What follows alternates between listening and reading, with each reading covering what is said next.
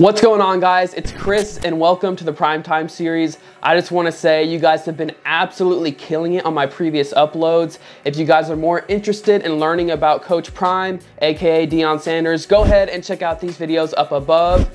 But you guys saw the title of this video, so let's just go ahead and get started. If you follow college football at all, you've heard of Coach Prime and of the changes he's making at Jackson State University. And for those of you that don't know, I live in Jackson, so I'm always hearing about this. I actually play college football at Mississippi College. It's a Division II school, and I mean, news about this has just gone crazy. I remember driving to Jackson State and seeing how many people were at the Alcorn and Jackson State game, but it wasn't always that way as of recently. So what has Deion Sanders done at JSU to change the program forever.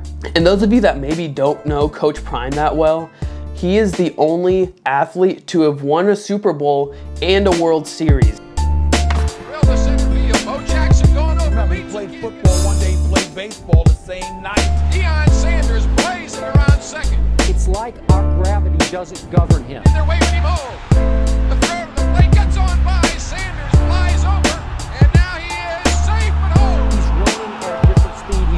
At a different speed.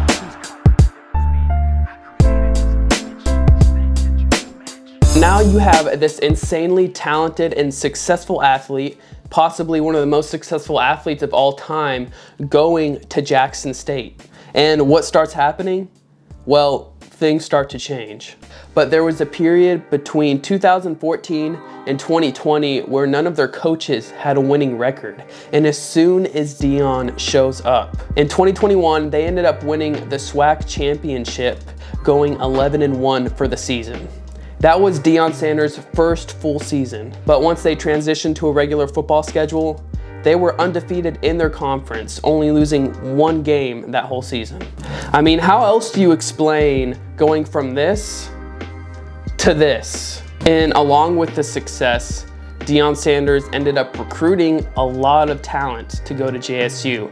Travis Hunter, the top recruit in the nation, ended up committing to Jackson State. And I just gotta say, it's just crazy to me how one person can make or break a program or one person can just change everything. And I'm curious to hear what you guys think about this as well. How much of JSU's current success has been from the coaching changes and how much of it has been the new recruits, the four, the five stars that want to play for JSU now. Along with these top recruits that are committing to JSU, you also have a YouTuber that goes by the name of Deestroying making videos there. If you're watching me, you probably watch his videos too, okay? Let's be honest. He's got like over 4 million subscribers. He's probably the largest football like individual content creator on YouTube and that just adds to the hype.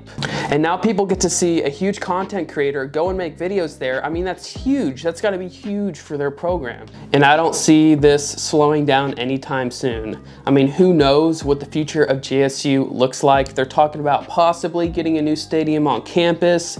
There's just so many possibilities. And I'm really excited to make content about JSU and their journey of just improving and changing the culture there. I mean, the SWAC championship versus uh, Prairie View uh, School, I believe. You're talking about an SEC level amount of people here at this game. Like that is absolutely crazy. And one thing I love about Deion is that he really seems to be a down to earth kind of guy. He really cares about his team from the content that I've seen and his coaching style. He's really constructive on what he says. He's not like yelling at him for no reason. And you know, from what I've seen on YouTube, and there's been a lot of other creators like the pregame show and Deestroying that have been, you know, making content about JSU. Those of you that might be newer to my channel, I do like to talk about scripture on this channel, and I think there's a lot of biblical principles that apply to this. There's a story in the Bible that maybe a lot of you are familiar with where Pharaoh isn't letting the Israelites go after being enslaved for 400 years.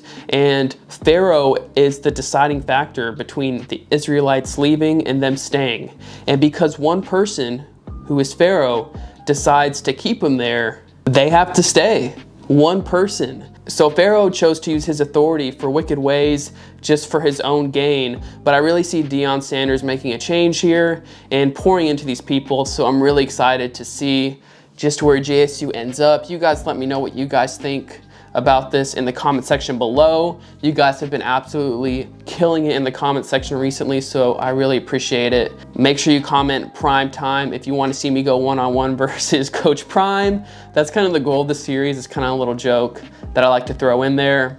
Maybe he'll see these videos eventually, I'm not sure. But without further ado, that's gonna end it off for this video, guys. I'll see you in the next one. Peace out.